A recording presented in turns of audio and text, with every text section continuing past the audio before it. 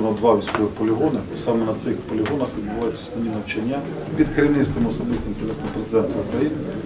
Успішні випробування завершились. Нова крилата ракета «Вільха», яка сьогодні стане на озброєння української армії. Ми маємо демонструвати українську силу.